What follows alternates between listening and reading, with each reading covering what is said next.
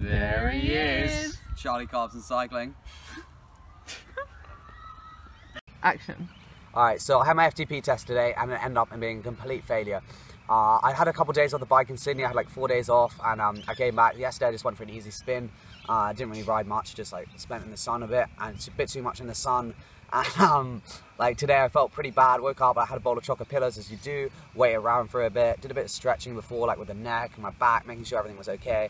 And I like went out to Green Hill, which is a good like 7k climb, so I was like, alright, I'll do my 20 minute test.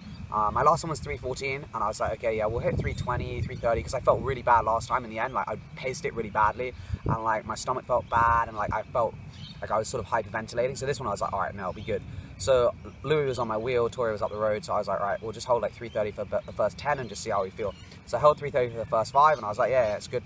Uh, so just kept the same power. It dropped a little bit, but not nothing too crazy. And then like about 10 minutes in, I just felt really, really weak. Like my lungs were like, I was like really like hyperventilating, like just not like normal like when I'm pushing. And I just like then got a stitch and about 12 minutes in, I was like, the thoughts started creeping like, oh, this really hurts, mate, you should quit. And I was like, nah, nah, I can't do this, I can't do this. Like, I've actually said I'm gonna do it. So I was like, ah, okay, okay. And then like two minutes later, about, I think it was about 12, 13 minutes in, uh, I just quit. I was just like, nah, I'm too tired. And I'm really angry because I should have just done it. Like, it's one of those situations where, yeah, it was hurting a lot, but even if your watts are less, like, you might as well do it. And even if you only get, like, the same as last time, like 314, 315, you're still, like, it's still good training. And also, you'll be able to, like, practice I practiced like hurting yourself and practicing figuring out what was wrong. But anyway, I quit, so that was really disappointing. I then tried to do another effort, but I just wasn't feeling it.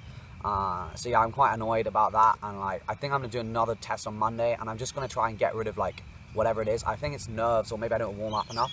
But I have a really weird feeling where I just like it's not like a normal 10 minute effort. I'm not sure if it's my cadence is high, but I just feel like I can't breathe properly, and I'm like feel like very um, hyperventilated, uh, which obviously is normal, but it felt really strange today and had a bit of a stitch and it's just like so many excuses came out. But anyway, so I've got a race on Saturday which will be good fun. I've got Norton's TT, my last one tomorrow. So those videos will be up soon. Uh, cheers for watching and I'll see you in the next vid. sound effects